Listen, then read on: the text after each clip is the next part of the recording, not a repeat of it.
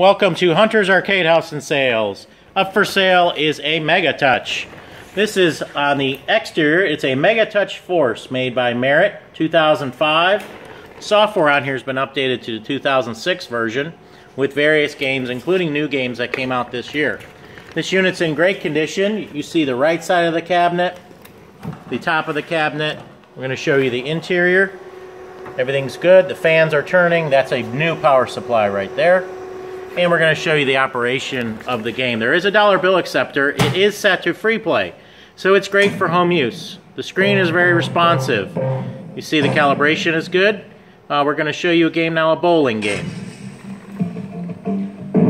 Good audio sound.